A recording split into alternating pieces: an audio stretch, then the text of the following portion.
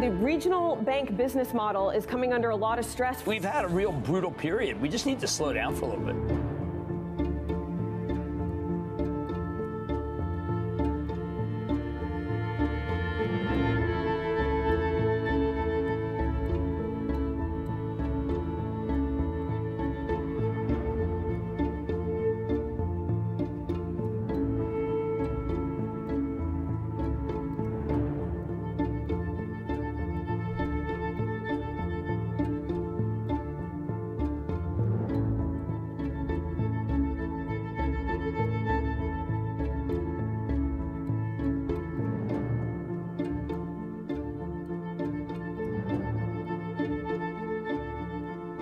I don't believe they're going to be able to loan money or as much money, and therefore we're going to see a natural contraction in the economy. That natural contraction, and he basically said this, is probably another 25 basis points of tightening or maybe even more. So now we've got the Fed doing what they're doing with their 25. We've got the banking community contracting the economy because they no longer have enormous excess deposits to recirculate back into the economy.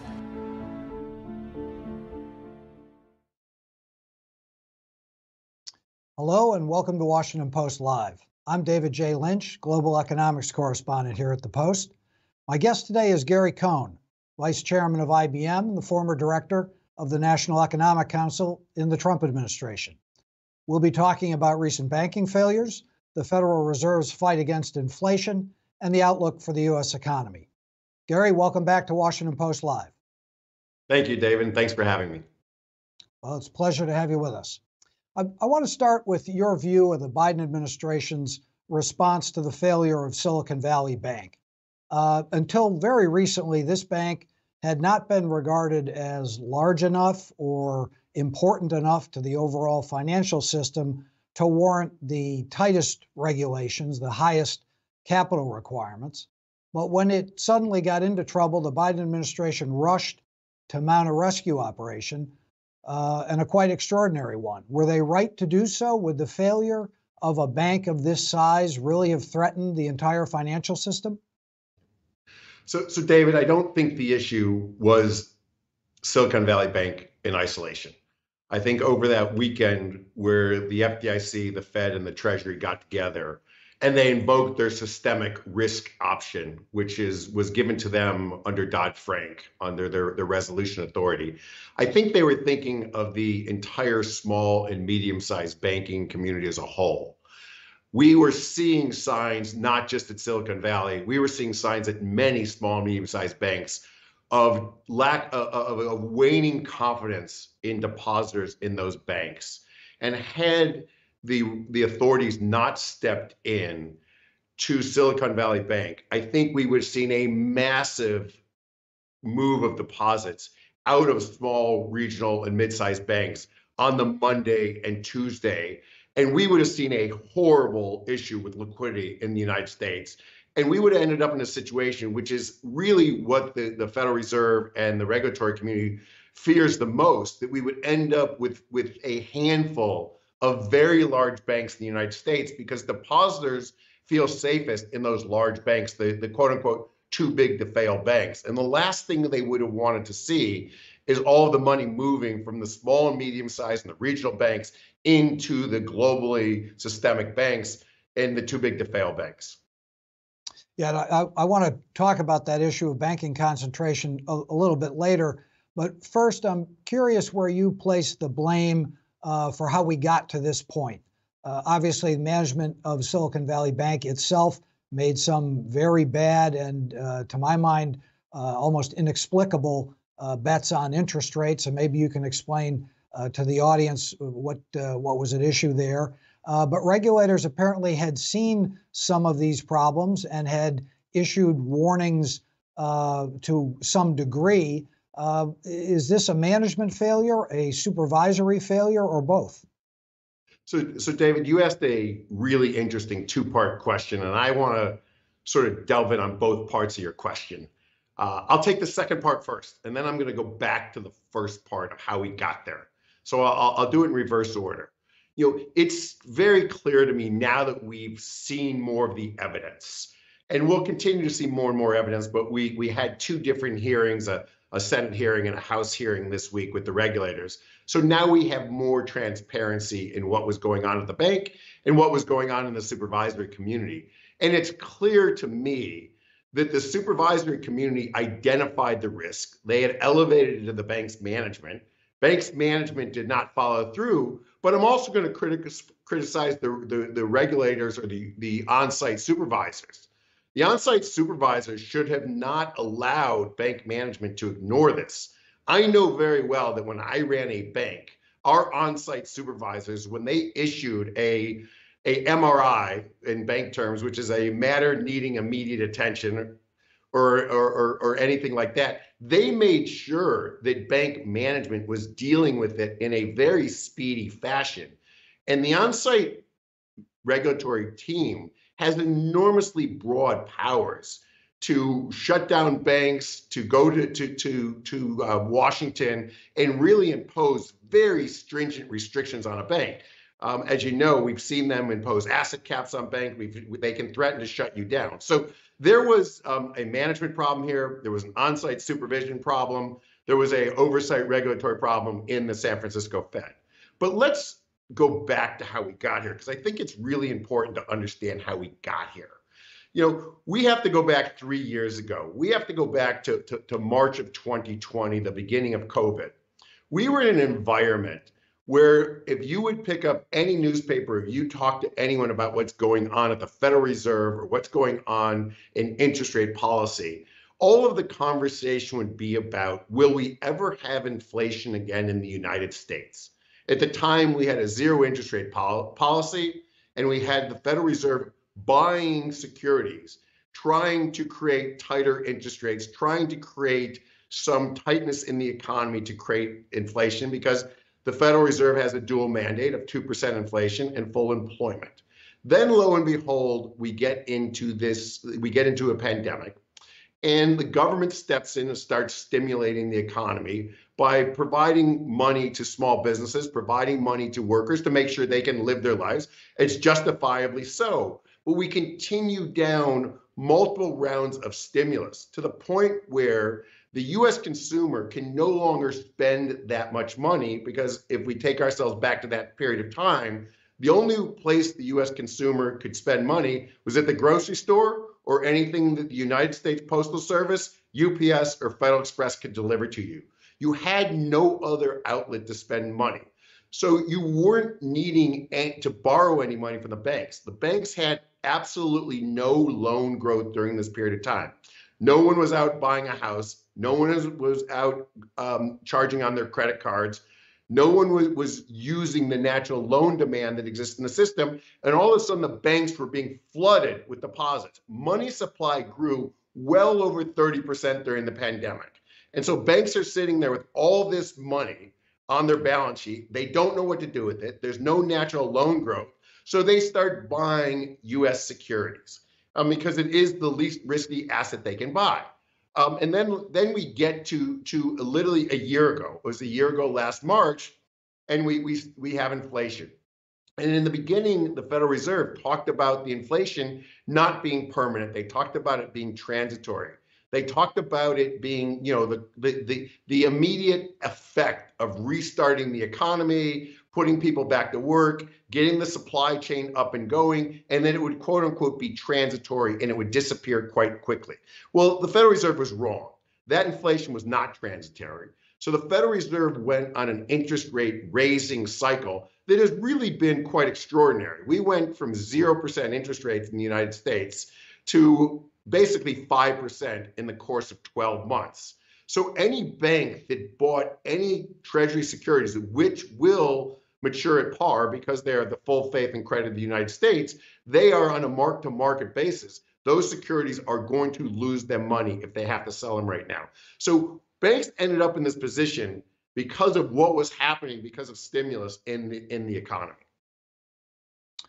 Right, and some banks made more of a mess of it than than others, and, and we're seeing that in, in Silicon Valley's case the issue now, of course, is where do we go from here? And as you mentioned, we've had some hearings this week that have uh, begun that conversation. Biden administration officials, including Treasury Secretary Janet Yellen, are starting to suggest that some additional regulatory uh, efforts uh, might be uh, might be needed, uh, particularly on the mid-sized banks.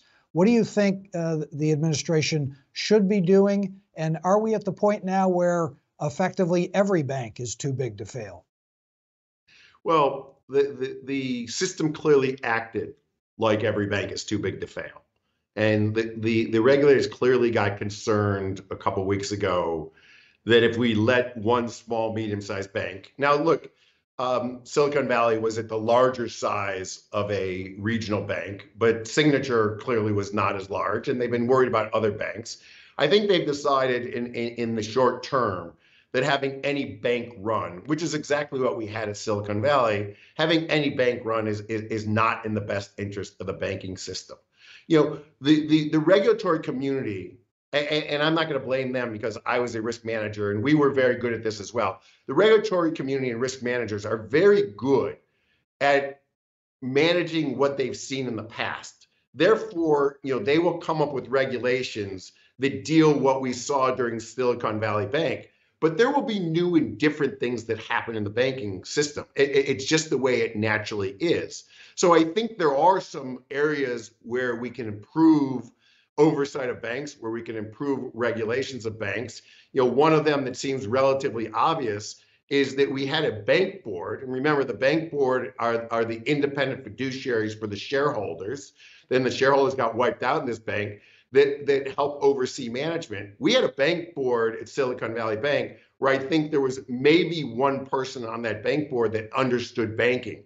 So it would seem to me that we should hold bank boards to be more accountable and have more knowledge, more information about banking, understand what management is doing. You know, bank boards actually meet with the on-site regulators on an annual basis. And when the regulators come in and talk about what management is doing and what the issues are and what the concerns are, the bank board needs to understand that because they are the ones there that is holding management accountable. And they're the ones whose job is to replace management if management's not doing a good job. So there is going to be some new regulation that comes out of this that will be smart, will be helpful. The key is it can't make small and mid-sized banks uncompetitive because they are the backbone of the US economy. We have to remember that we rely upon small and mid-sized banks to really grow our US economy. Over 50% of the loans that go into the US economy come out of these banks,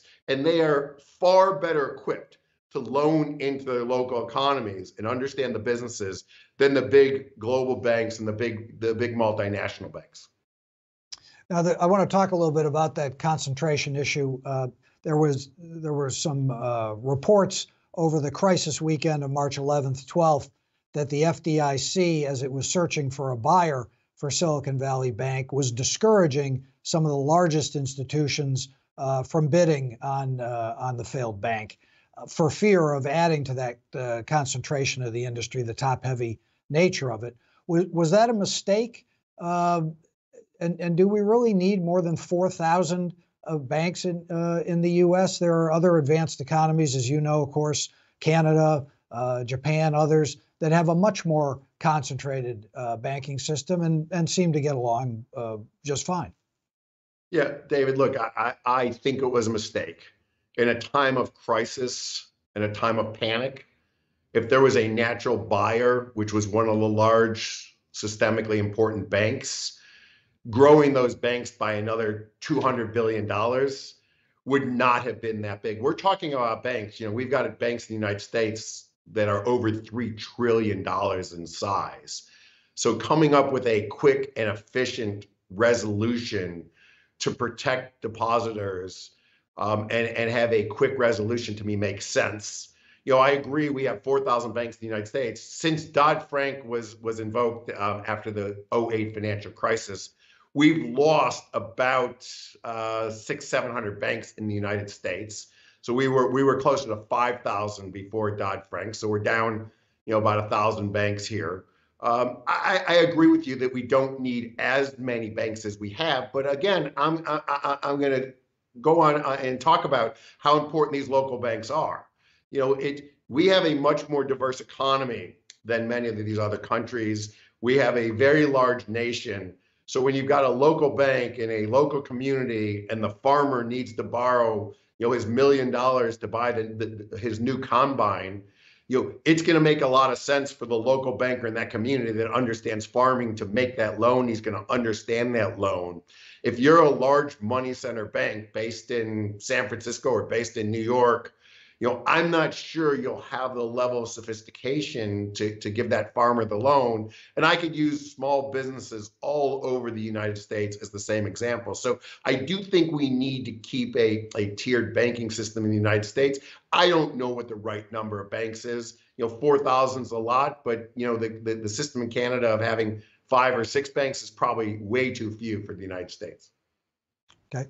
I want to bring in a, a question from a viewer uh, now at, at this point, which I think uh, speaks to some of the populist resentment against banks that certainly you know well uh, coming out of the 2008 uh, crisis. And this uh, comes to us from John Rydell uh, from Rhode Island, and I want to quote him.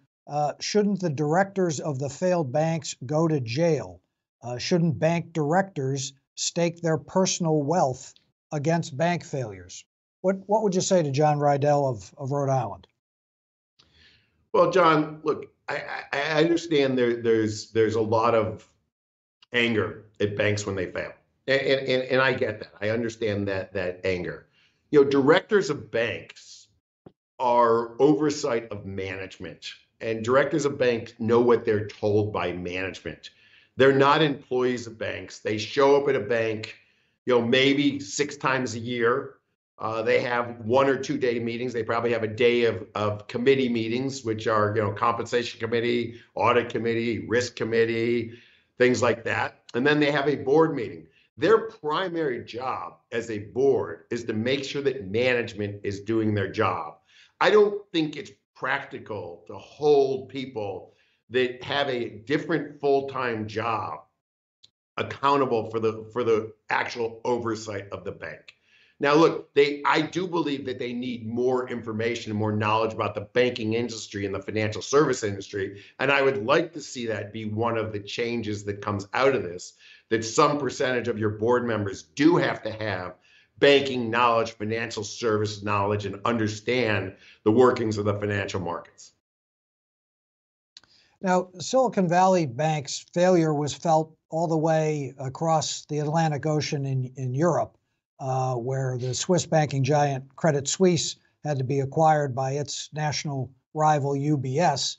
Uh, there wasn't any obvious link between this regional institution in California and in the heart of uh, tech innovation out there uh, and a, a Swiss uh, banking giant uh, that traced its heritage to 1856. Why? What was the link between the two? Why did the problem in this regional American institution cause uh, headaches all the way over in Europe. Yeah, David, I think there's a little bit of coincidence in here and a little bit of, of causation. You know, the, the, the Credit Suisse situation has been a tough and volatile situation since the 08 financial um, crisis. I don't think that Credit Suisse has recovered. I think they have tried to get themselves on sound financial footings for the last 15 years. And I don't really think they ever got themselves to a sound place. And depositors, having seen what was going on in the United States on Silicon Valley Bank, but other banks, let's let's not just talk about Silicon Valley Bank and Signature Bank. We saw deposit runs at First Republic. We saw deposit runs at many other regional banks. I think at that moment, people that had assets and deposits at Credit Suisse you know, they got reminded that Credit Suisse still hadn't fully recovered, and they, they they saw a bit of a run on on assets and deposits. And it was at that point that the Swiss regulators dealt with the problem that they've really been sort of skirting around the edge of for the last 15 years. Fair enough. Let, us turn to the economic uh, landscape now. And I, I want to start with a, a sort of 30,000 foot level question, which deals with the uh, return of geopolitics or the rise of geopolitical risk. Uh, probably since the, the Russian invasion of Ukraine a little more than a year ago. Uh, but we've also got US China relations arguably at their lowest point in decades. uh, just about everywhere you look, uh, if you're a, a, global investor or a global uh, corporate executive, you've got things to worry about. Mexico, Israel, France, you name it. Uh, is the is the landscape globally for a company like IBM uh, more complicated, more uh, more troublesome than it was several years ago? And and how would you say this changed environment uh, affects prospects for your investments, your operations, your plans going forward? David, look, I'm going to talk about all companies. Um, so, so I'll make this generic to all companies. And, and the answer is yes. We're in a very difficult environment for multinational corporations. Uh, and, and, look, I think we're in a very difficult environment for companies that are based outside the United States um, to invest in the United States. The United States is also thinking of putting more restrictions on it. We've seen, you know, we all saw the TikTok hearings earlier this week uh, as well. You know, if you look at what's happened in the geopolitical world, you know, every U.S.-based company and basically every every company around the world has ceased their Russian operation. Um, I think justifiably so. The relationships, as you point out, in China and other parts of the world, you know, it, it, it's very it's a very difficult decision uh, to decide how much capital you want to invest in China, how big you want your operations to be. Do you need to diversify out of China? Do you do you, do you not diversify out of China? You know, it's it's a very difficult question because you know China's got such a massive population. There are 1.4 billion consumers in China. It's clearly a population that you want to have uh, availability to to sell your products in. Um, so, so it's a market you can't ignore, and you can also manufacture products there at a competitive advantage to many other parts of the world. So these are tough geopolitical decisions that I think every company is forced to make today. And, and you're right. There's Taiwan issues in the semiconductor industry. You know, the United States went through the CHIPS Act eh, here to you know, so encourage chip manufacturing here in the United States so we wouldn't be as dependent on imported chips from around the world. It's still going to take many years for the U.S. to, to, to get its chip manufacturing up and for us to become less ind- less dependent on other parts of the world. And the, these are big issues that are going around the world. And I think every management team and every executive office in every company is thinking about these on a daily basis. Now, even before the, the recent banking uh, turmoil, lenders were starting to tighten up on their credit standards. In the wake of what we've seen at uh, Silicon Valley Bank, Signature Bank, uh, and now across the board, what economic impact do you anticipate from that tightening? Yeah. So, so David, as I said in the opening clip, look, when banks tighten up and banks don't make loans available, that's a dampening on the US economy. You know, our economy is a credit driven, consumption driven economy. We borrow money to do almost everything we do in the United States. We buy a house, we borrow money. We buy a car, we borrow money. We go to college, we get an education, we borrow money. We go out and buy everyday products, we charge them on our credit card, we borrow money. So, to the extent that banks are starting to contract their lending, which I think they are because they're hoarding deposits and they have less deposits because many of the deposits have moved to the treasury market, which is paying higher interest rates and has a tax advantage.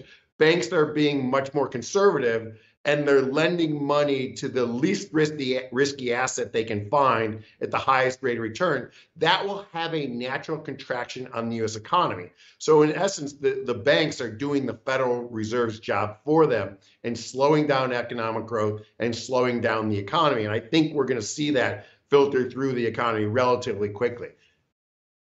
And it's a double-edged sword. The good news is that might help the Fed in its fight against inflation. It might also push things too far into a hard landing or a recession. What's your outlook on that score? And was the Fed right to uh, to put through its most recent quarter point uh, increase? David, you're correct. It's it, it, it's a tougher situation. The Fed, in essence, is outsourcing part of their monetary policy. The Fed understands right now that banks are contracting credit availability and credit's getting more expensive and they're factoring that into their equation on what economic growth will look like. So the Fed is no longer completely in control by pure interest rate policy and quantitative easing or quantitative tightening. They've done a little bit of both recently um, on controlling what inflation looks like. My opinion was in the last meeting, they had to raise by the 25 basis points. You know, prior to the bank uh, bank failures or bank collapses and the, and the, and the bailout of the of the couple banks in in in early March, you know, the Fed had already sort of committed themselves to 50 basis points. The market had priced in 50 basis points. For the Fed to have gone from 50 basis point increase based on the economic data to zero, I think they would have lost credibility. So the, a good compromise position for the Federal Reserve was to end up at 25 basis points, but then in the press conference for Chairman Powell to talk about his understanding of what was going on in the economy, the contraction in credit, um, and the fact that they're quite aware there's a contraction in credit and that they'll be more observant of what's going on and they'll be more economic data uh, dependent going forward. And I think you know they've got a month off till the next meeting, and they'll see where we are in the economy before they make their next decision. The the Fed though seems to seems to believe or expect that there'll be at least another rate hike uh, in the future. The market doesn't seem to believe them. In fact, expects rate cuts perhaps by the summer. Uh, who's right? You know, historically, the Fed is right the mantra in the trading world is never fight the Fed. You know, they've got a big balance sheet, they've got uh, unlimited resources here. You know, the market is taking the view that the economy is going to contract, that the lack of availability of credit and the rate increases that have already happened are going to have a real dampening effect on, on the economy. We're going to slow down significantly, and the Fed is going to be back into a stimulative um, nature by the end of the year. And, and so the market is pricing in cuts. The Fed is still overly concerned, and I don't mean overly, they're justifiably concerned that inflation has not come down. The big factor in inflation right now is labor. You know, right now we continue to have a, a shortage of labor in the United States. We continue to see wage pressure. And until the Fed sees the labor market soften up and they see wages come down, I think they're going to continue to be vigilant on raising rates until they can see some softness in the labor market. As I've said, we're labor dependent at this point. Yep.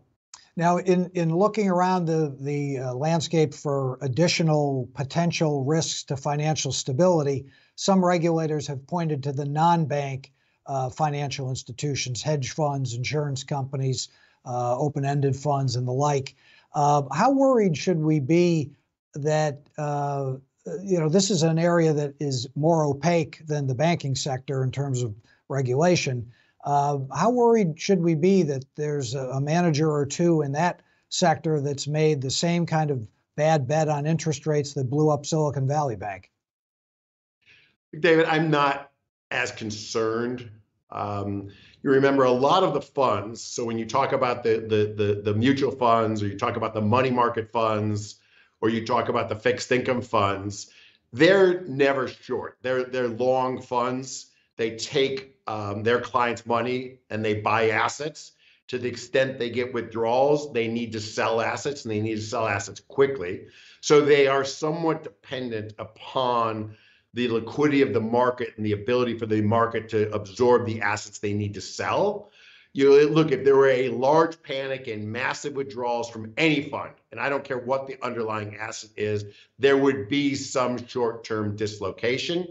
In the hedge funds, you know, they're relatively small compared to the financial markets that they deal in. They are very tightly monitored by their prime brokers uh, which are the big money center banks. And, so I think there's a lot of risk governors on the on the hedge fund industry. But look, we could see small little dislocations in any of these markets if we had a forced liquidation of anything of size. And that goes from equities to fixed income to currencies to commodities. Now, as you mentioned earlier, the, the Fed got it wrong on inflation with its transitory call. It's now under fire uh, for failing to prevent uh, or anticipate the collapse of Silicon Valley Bank. Those are two black marks on Jay Powell's record at the Fed. How do you assess his job performance thus far?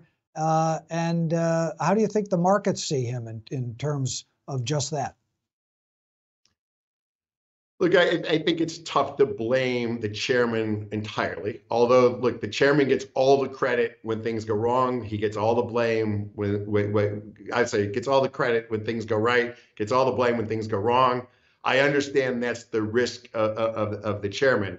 The Federal Reserve is a large, enormous institution, and the way the Federal Reserve is set up is we've got we have regional banks, regional Federal Reserve banks around the country. And those regional banks are the ones responsible for overseeing the banks in, in their district. So Silicon Valley Bank and, and some of the other banks that were having problems were California-based banks regulated by the California regulator. You know, so so in many essence, you've got to understand how how the system works. Look, I, w- I would I, I would say that the chairman, you know, was was late, and I've said this before. He was late to the inflation fight. Um, and when you're late to fighting inflation, you have to do more dramatic actions and you have to do them faster. And that clearly was a contribution to these banks um, having more having severely underwater portfolios. So had the Federal Reserve, you know, fought inflation earlier, they could have come out and raised rates slower, and that would have potentially given banks an opportunity to adjust their portfolio earlier and save them some money. Okay, unfortunately, we are now out of time, so we're going to have to leave it there. Gary Cohn, thanks for joining us today on Washington Post Live. David, thanks for having me. My pleasure. And thanks to all of you for joining us. To see what we have planned for future programs, head over to WashingtonPostLive.com. I'm David J. Lynch, Global Economics Correspondent here at the Post. Thanks for watching.